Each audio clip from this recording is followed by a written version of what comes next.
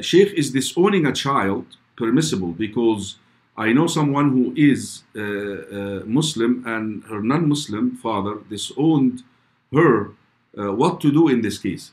Um, that is possibly going to happen. You know, that, that you end up with uh, a, a family who, uh, you know, uh, subhanallah,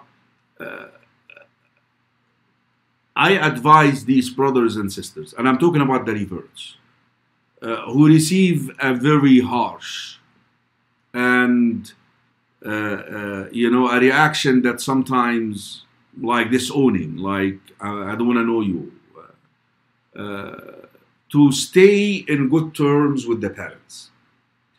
Uh, find a way that uh, you can maintain connection with them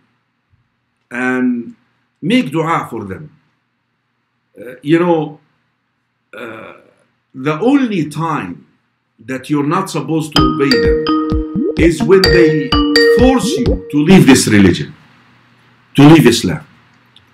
Uh, that is the only time you're not supposed to uh, follow them. But other than that, uh, you know, call them still, send them flowers.